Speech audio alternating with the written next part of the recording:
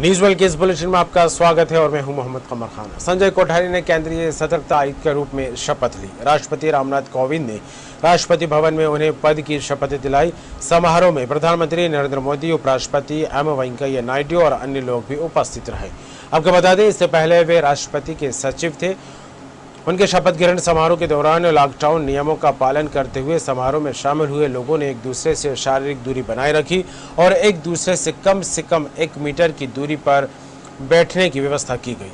जानकारी के लिए आपको बता दें कि कोठारी, हरियाणा कैडर के उन्नीस सौ अठहत्तर बैच के और जुल्का मध्य प्रदेश कैडर के उन्नीस बैच के सेवानिवृत्त आई आईपीएस अधिकारी हैं।